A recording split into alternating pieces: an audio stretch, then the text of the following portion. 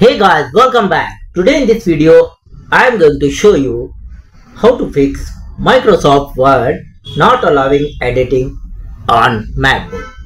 So for this guys, first method, close the Microsoft Word on another computer.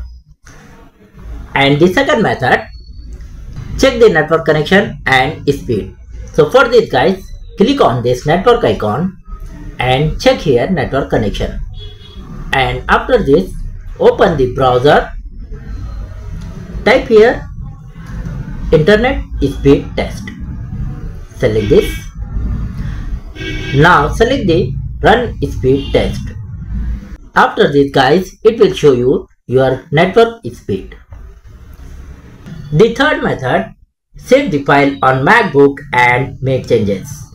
The fourth method disable the always open as read only.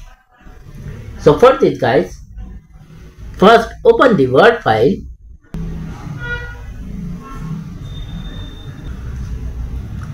Now here guys, click on file, select here always open as read only.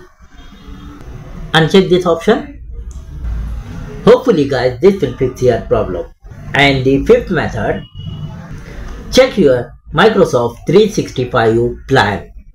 The sixth method, repair your Word file. So for this guys, go to file, select the open and select here your file like this one. And after this, click here, click here and select the repair and complete the process. After this, once again restart your device. The final method, update your Microsoft Word. So for this guys, go to App Store and check your guys update. If update is available, you update your Word.